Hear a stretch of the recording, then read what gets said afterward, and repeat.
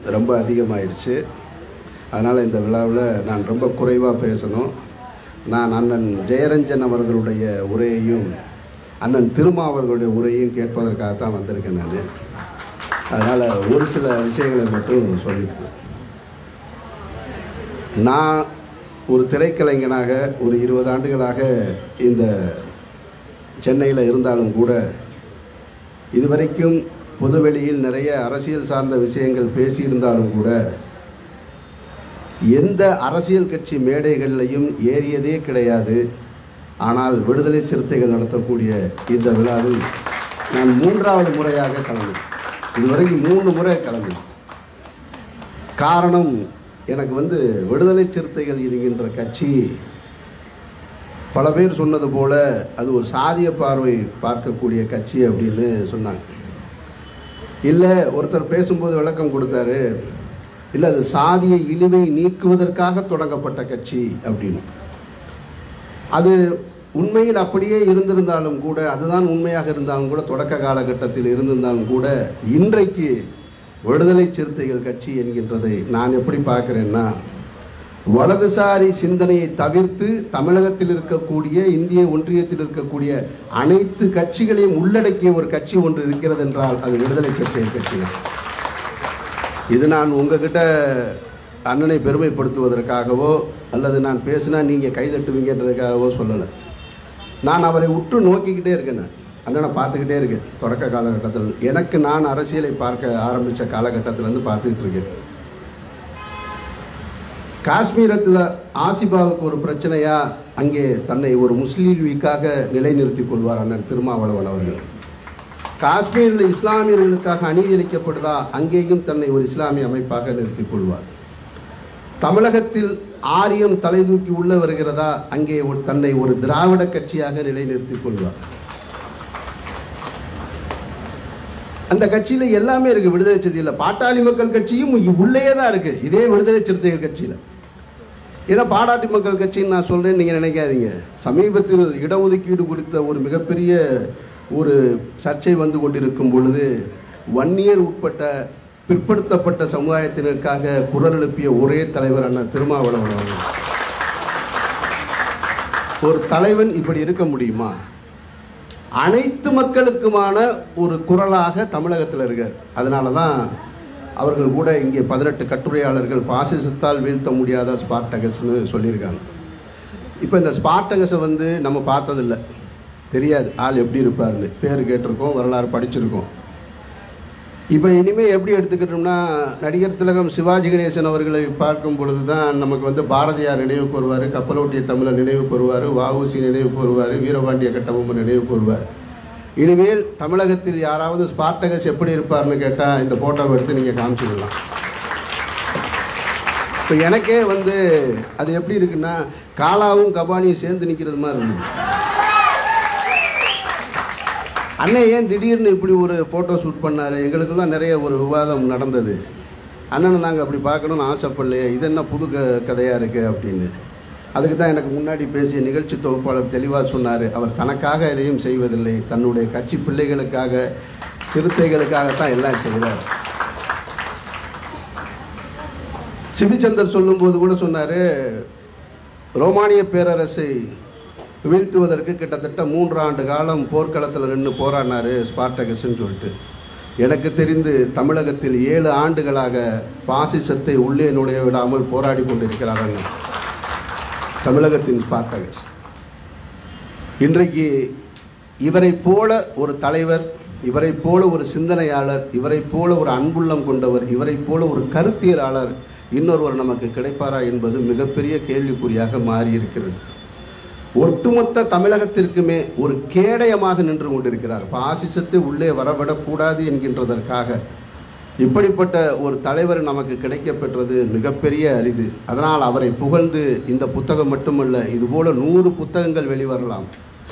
ஆனால் அவரை நான் அவர்கிட்ட என்ன இன்னமும் எதிர்பார்க்குறேன்னு சொன்னால் அண்ணன் திருமா என்ன கருத்தை முன்வைக்கிறாரோ அந்த கருத்தை எடுத்து செல்ல வேண்டிய அடுத்த தலைமுறை தலைவர்களாகவும் பிள்ளைகளாகவும் கீழே இருக்கிறவர்கள் உருவாக வேண்டும் என்பதுதான் என்னுடைய ஆசை. அதுதான் நான் ரொம்ப எதிர்பார்க்கிறது. அண்ணன் திருமா அவர்களோடு முடிந்து விடக்கூடாது இது. அவர் என்னை பொறுத்த மட்டும் நான் தனியப்பட்ட முறையில் சொல்லணும்னு நினைக்கிறது என்னென்னா இன்றைய காலகட்டத்தில் நாம் எப்படி பெரியாரையும் அம்பேத்கரையும் அண்ணாவையும் கலைஞரையும் நினைவுபடுத்தி பேசிக்கொண்டிருக்கின்றோமோ இன்னும் இரண்டு தலைமுறைகளுக்கு பின்னால் வரக்கூடிய சந்ததிகள் பெரியார் அண்ணா அம்பேத்கர் கலைஞர் திருமா என்று சேர்த்து சொல்லக்கூடிய சூழல் உருவாகும். அப்படிப்பட்ட ஒரு இடத்தை தான் அவர் அடைஞ்சிருக்காருன்னு நான் பார்க்குறேன் நான். அந்த மாதிரியான செயலை தான் முன்னோக்கி போயிட்டுருக்கார் அவர் வெறும் ஒரு தலைவர் மட்டுமல்ல எந்த அரசியல் கட்சி மேடையாக இருந்தாலும் இப்படி பக்கத்தில் உட்கார வைத்து தோழர்னு பேசக்கூடிய உரிமையை யாரும் கொடுப்பாங்களான்னு தெரியலை. அதே நேரத்தில் வந்து இந்த கரண்ட் போயிடுச்சு அவர் அப்படியே இறங்குறாரு போகிறாரு கரண்ட் போயிடுச்சுன்னா உட்காந்து இங்கேருந்து ஏவல் வேலையை செய்வதை விட அந்த மலையில் நனைஞ்சுக்கிட்டே கொடை எடுக்கிறாரு போகிறாரு உள்ளே போய் நிற்கிறாரு அதையெல்லாம் சரி பண்ணிட்டு தான் வர்றார். அந்த இருளை வந்து நீக்கி வெளிச்சத்தை கொண்டு வர்றார். எப்படி ஒடுக்கப்பட்ட சமூகம் இருளில் கிடந்ததை அதை மீட்டு வெளிச்சத்துக்கு கொண்டு வர்றாரோ அதுபோல இந்த அம்பேத்கர் திடலுக்கு வெளிச்சத்தை கொண்டு வந்துட்டு தான் திரும்ப மேடையில் வந்து உட்காந்துருக்கு இப்படி ஒரு முனைப்போடு செயல்படக்கூடிய தலைவரை நாம் பாதுகாக்க வேண்டிய பொறுப்பும் நமக்கு இருக்கிறது. பொதுவாக வந்து எங்கேயாவது ஒரு திருமண விழா இல்லை பிறந்தநாள் விழாவில் போனால் நீங்கள் நூறாண்டு வாழணும் பல்லாண்டு வாழணும்னு வாழ்த்துவாங்க. ஒருத்தன் வாழவே மாட்டான் நமக்கு தெரியும். இருந்தாலும் ஒரு பொய்யாவாக சொல்லுவாங்க. நான் மனதார பிரார்த்தனை பண்ணுறேன் அண்ணன் நீங்கள்லாம் நூறு வருஷம் இருக்கணும். ஏன்னா உங்களுடைய தேவை தமிழகத்திற்கு அவசியமாக இருக்கிறது. உங்களை போன்றவர்களுடைய தேவை தமிழகத்திற்கு அவசியமாக இருக்கிறது. அதனால் உங்கள் பணி இன்னும் சிறக்கணும். அதனால் என்றைக்கும் எங்களுக்கு தமிழகத்தின் ஸ்பாட்டகசாகவே தமிழகத்தின் கேடயமாகவே பாசிசத்தை உள்ளே நுழைய விடாமல் நீங்கள் பாதுகாப்பீர்கள். உங்களுடைய உங்களை பின்பற்றியவர்களாக நாங்களும் இருப்போம் என்று கூறி இந்த அரங்கமும் சரி விடுதலை சிறுத்தைகள் கட்சியும் சரி அது தனிப்பட்ட ஒரு கட்சியாக நான் பார்க்கவில்லை. என்னுடைய சொந்த குடும்ப கட்சியாகவும் என்னுடைய சொந்த இல்லமாகவும் தான் நினைக்கிறேன். அப்படி ஒரு எண்ணத்தை எனக்கு ஒவ்வொரு முறையும் உங்களுடைய விழாவுக்கு வரும்போது ஏற்படுது. எந்த விதமான நெருடலும் இல்லாமல் நான் அமர்ந்திருக்கக்கூடிய ஒரு இடம் இருக்குன்னு சொன்னால் அது விடுதலை சிறுத்தைகள் தான். இந்த நட்பும் அன்பும் தொடரணும் உங்களுடைய பணியும் தொடரணும். இதற்கடுத்து அண்ணன் ஜெயரஞ்சன் அவர்களுடைய பேச்சு. ஜெய ஜெயரஞ்சன் முக்கியமாக சொல்லணும். உங்களை பொறுத்த மட்டும் அண்ணனை இதே மேடையில் உட்கார வச்சு இது மாதிரி நூறு விழா நீங்கள் ஆயிரம் விழா பார்த்துருப்பீங்க. ஆனால் அவர் இது போல் மேடையில் உட்காந்துருக்க விழாவை நீங்கள் யாரும் பார்த்துருக்க வாய்ப்பே கிடையாது. அவர் ஒன்றும் அப்படி சாதாரண ஆள் கிடையாது அவர். கடந்த நாடாளுமன்ற தேர்தலில் தலைவர் ராகுல் காந்தி காங்கிரஸுடைய தலைவராக இருக்கக்கூடிய ராகுல் காந்தி அவருக்கே வந்து மொழிமாற்று பேச்சாளராக நின்று வேலை செஞ்சுக்கிட்டு இருந்தவர். ஆனாலும் ராகுல் காந்தி கூட நின்று பேசிக்கிட்டு டிரான்ஸ்லேட்டராக அப்படி இருந்தால் கூட உடனே அந்த இடத்துல இருந்து எதையும் பெறாமல் அப்படியே கலண்டு போயிடுவார். எதுவுமே நிற்க மாட்டார். அப்படிப்பட்ட ஒருத்தர் இந்த மேடையில் இன்றைக்கு உட்கார்ந்துருக்கு இந்த புத்தக வெளியீட்டு விழாவுக்கு வந்திருக்கிறார் என்று சொன்னால் அண்ணன் திருமா அவர்கள் எந்த இடத்தில் இருக்கிறார் என்பதை நீங்கள் புரிந்து கொள்ளுங்கள்.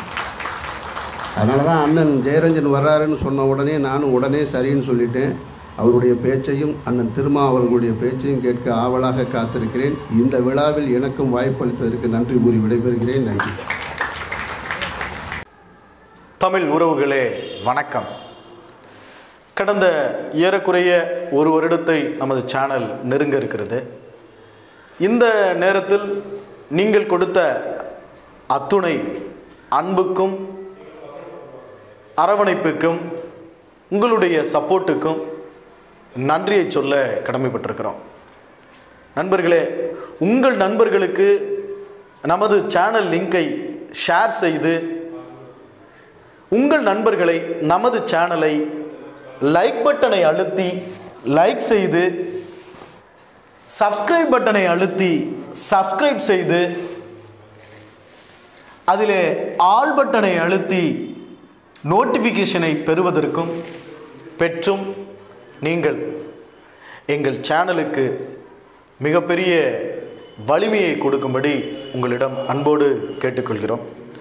அது மட்டுமல்லாமல் எங்களுடைய சேனலில் எளியவர்களின் பேச இயலாதவர்களின் கருத்துக்களை பேசக்கூடிய இந்த பணியில் இந்த ஊடக பணியில் நீங்களும் உங்களுடைய கருத்துக்களை பகிர்ந்து நாங்கள் மேலும் சுவையாக இந்த நாட்டு நடப்புகளையும் அரசியலையும் உங்களுக்கு வழங்குவதற்கு எங்களுக்கு இதன் மூலம் உதவி செய்யுங்கள் என்று உங்களிடம் அன்போடு கேட்டுக்கொள்கிறோம். நன்றி. வணக்கம்.